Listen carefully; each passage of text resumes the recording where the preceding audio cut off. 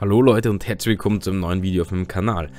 Ähm, heute werden wir eine ähm, wieder mal eine Phrase aufnehmen, beziehungsweise eine Frage, die ich gefunden habe bezüglich WordPress, nämlich was ist ein Slider eigentlich?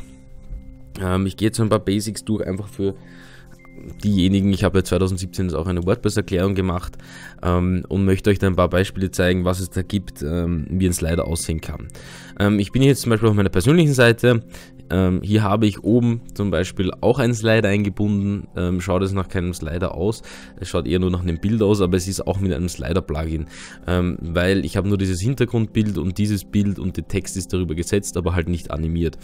Bei mir auf meiner Firmen-Homepage zum Beispiel, wenn wir die hier kurz neu laden, seht ihr, dass das hier auch ein Slider ist, da nutze ich Slider Revolution und hier seht ihr auch, dass die einzelnen Elemente hier ähm, animiert sind. Ja? Das könnt ihr euch aussuchen. Das heißt, das ist im eigentlichen Sinn ein Slider. Und was gibt es da jetzt zum Beispiel für Plugins? Es gibt kostenlose Slider.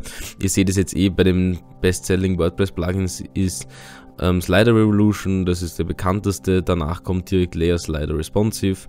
Ähm, dann haben wir hier zum Beispiel noch Master Slider, den kenne ich persönlich selber nicht. Ähm, und so weiter und so fort. Ja. Ich gehe jetzt mal kurz auf Slider Revolution ein und was es da für Möglichkeiten gibt. Ja. Also ihr habt jetzt hier zum Beispiel ein paar Slider Vorlagen, ja, das heißt, das ist auch ganz cool.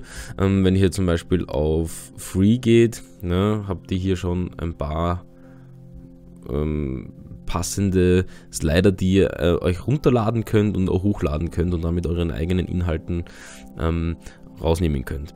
Wie funktioniert das? Ähm, zum Beispiel, ihr könnt hier zum einen YouTube-Stream nehmen. Das würde dann so ausschauen, das könnte ein, ein, ein, ein Slider sein, ja, oder kann ein einfacher Slider sein. Ob der dann über die ganze Seite geht oder nicht, ist was anderes.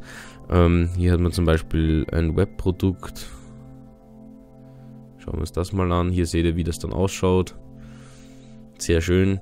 Ähm, gefährlich bei den Dingen ist nur, die brauchen relativ viel ähm, Leistung oder beziehungsweise Performance. Das heißt, die müssen wirklich gut eingestellt sein. Äh, ich meine, Slider Revolution ist ja schon sehr gut, aber schaut, dass die Bilder nicht so groß sind etc., weil sonst haut euch das die ganze Seite zusammen. Und den Slider in der Form animiert hat man meistens auf der ersten Seite. Das heißt, hier schaut einfach nur, dass ihr das ähm, relativ gut äh, einbindet und euch da auch informiert.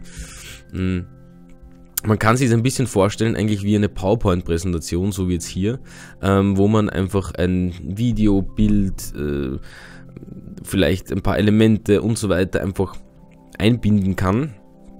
Und dementsprechend schaut das Backend aus. Also ähm, zu den meisten Premium-Themes wird auch so ein Slider-Plugin mitgeliefert. Das heißt, hier ähm, ist es einfach dann dementsprechend auch klar, ähm, dass, dass, dass man einen Slider verwendet, weil das einfach wunderschön ausschaut.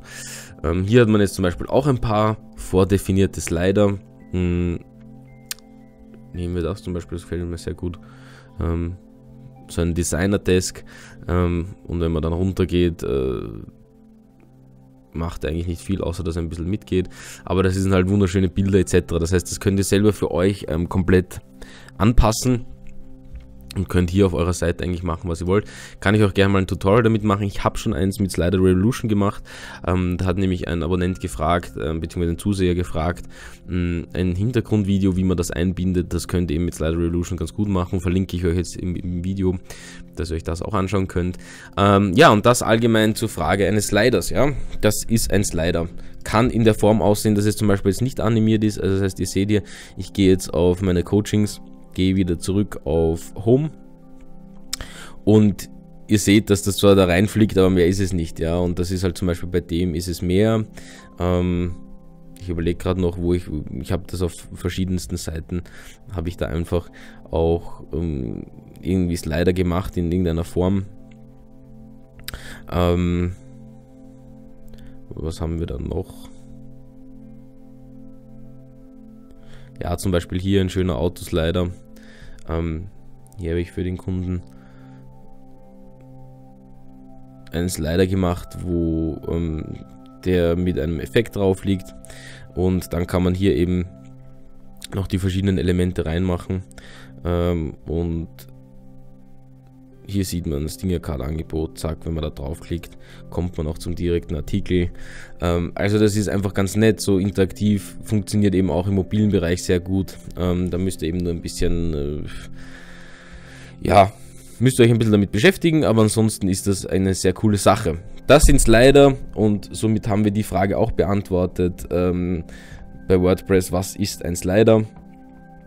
Und ja, ich wünsche euch einen wunderschönen Tag, bleibt motiviert und wir sehen uns im nächsten Video.